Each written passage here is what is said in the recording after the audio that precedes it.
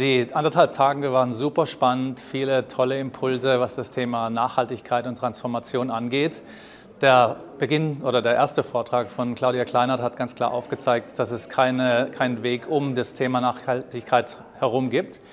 Und äh, ich glaube, was die Konferenz auch aufgezeigt hat, dass es viele Fragen gibt, aber auch äh, Lösungsansätze.